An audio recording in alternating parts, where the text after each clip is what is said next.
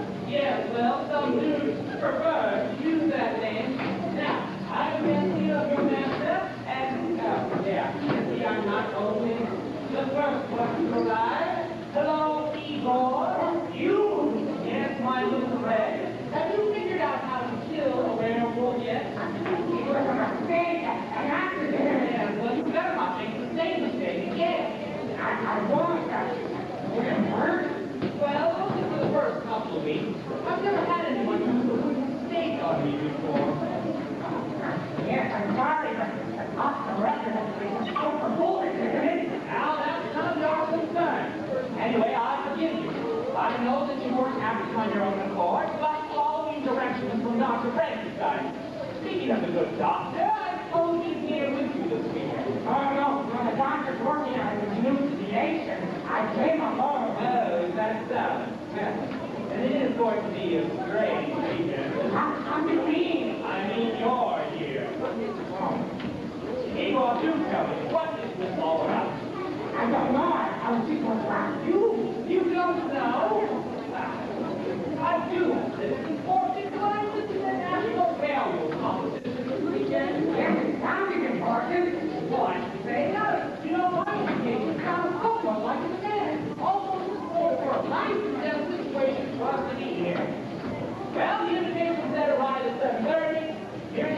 20 you and I are the only ones here. Other least you could be shown to our road. Yeah, he's that mother. Strange looking. Not looking. I wouldn't know how to be strange in a post, I suppose.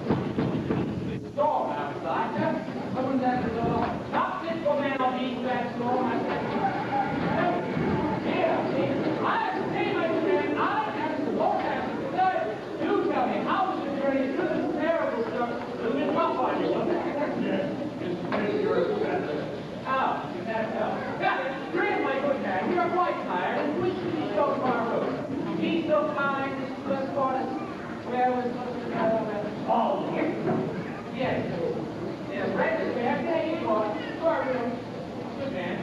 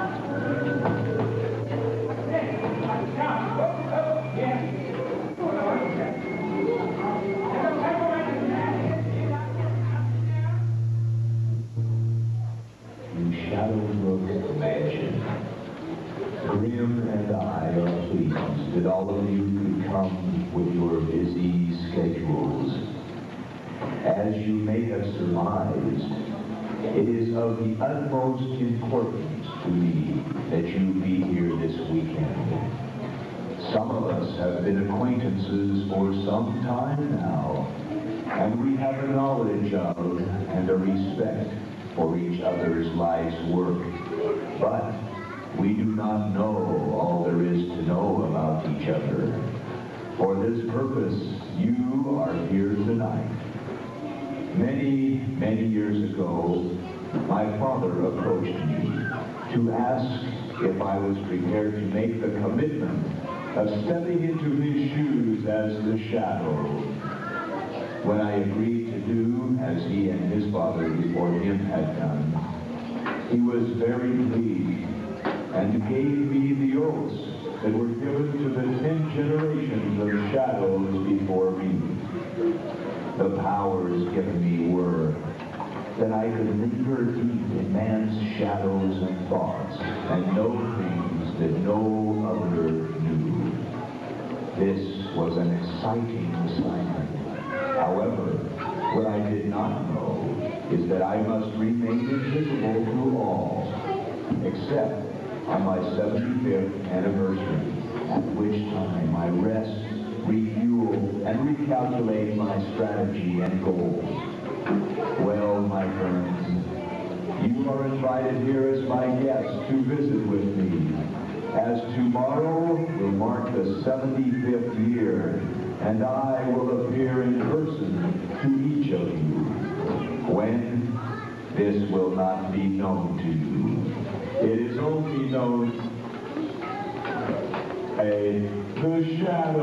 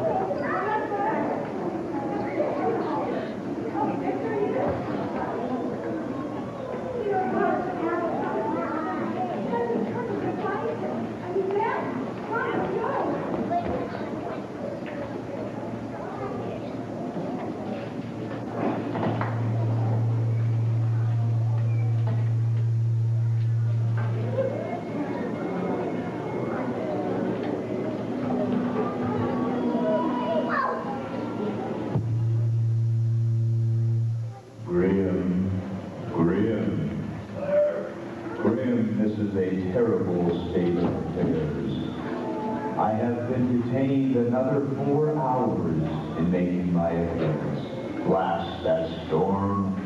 It has thrown the time off four hours, and I must have those things by midnight tonight. Or else it will be too late to make this hideous spell put upon me.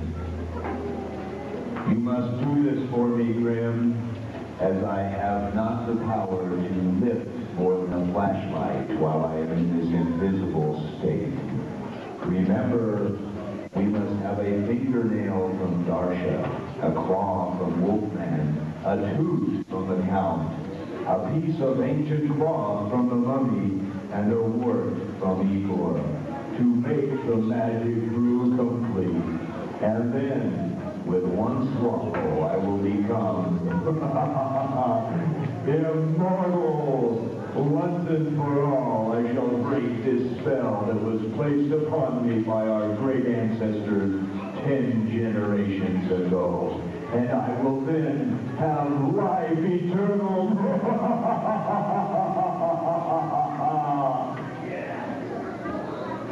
Do you have the king, Grim? Good.